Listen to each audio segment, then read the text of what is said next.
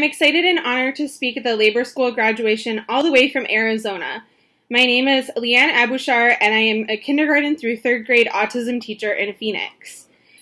I currently serve as the president of the Phoenix Elementary Classroom Teachers Association, representing the certified staff in my school district. This year, we have scored several huge gains. We have negotiated back pay, reduced class sizes, bargain for a $3,000 bonus for teachers, and won a 6% raise for all certified staff in the 2019 2020 school year. As a result, our membership is one of the fastest growing in the region. Our growth stems from the Red for Ed movement that has spread across the country. Teachers, parents, and community members are finally standing up to years of privatization, cuts in funding, and attacks on our kids. More importantly, we are standing up for ourselves and realizing the power that we have. The Red for Ed movement is about schools and the educators and the kids that work in them each day.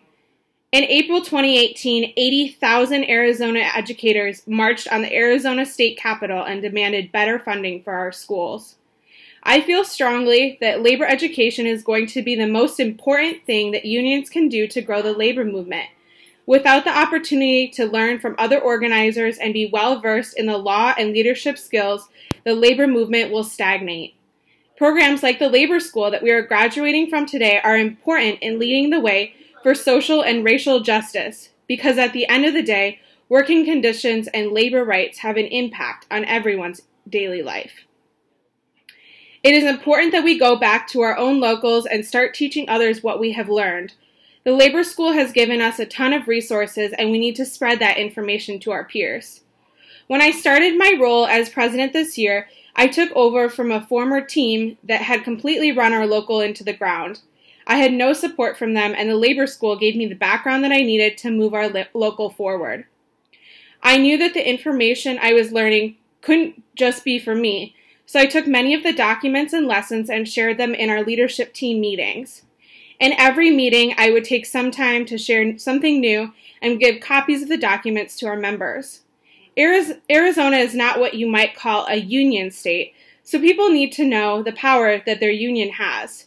Many people here just treat our union like a school club. Those who do see the power sometimes are guilty of leaving the work to be done by other people while they wait on the sideline. As a Michigander, this is frustrating, but I know that labor education is necessary to change that culture and rhetoric.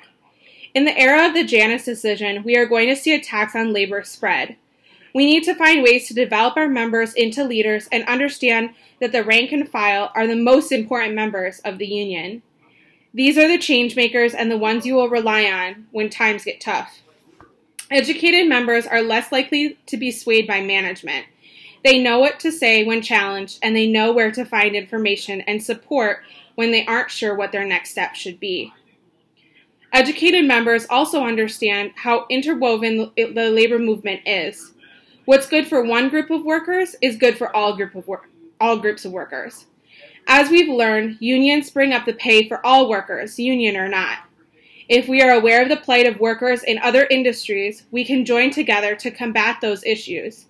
Little decisions in solidarity make a difference, such as choosing to only stay in unionized hotels, buying cars with a UAW sticker, or boycotting stores and companies with shady labor practices. As I move forward in my union, I hope to take the lessons from the labor school to grow our local and build power within our school district. I hope that our union will inspire educators to join and step up because we can only build power if we have the numbers and the participation.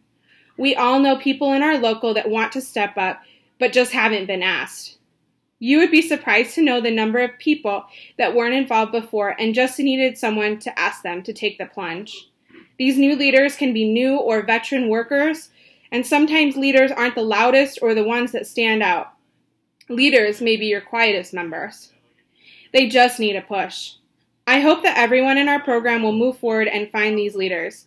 I'll leave you with a quote from Eugene Debs. You must use your head as well as your hands to take out take you out of your present condition. Take what you've learned this year and teach others. Your union needs you and you need them. Happy graduation!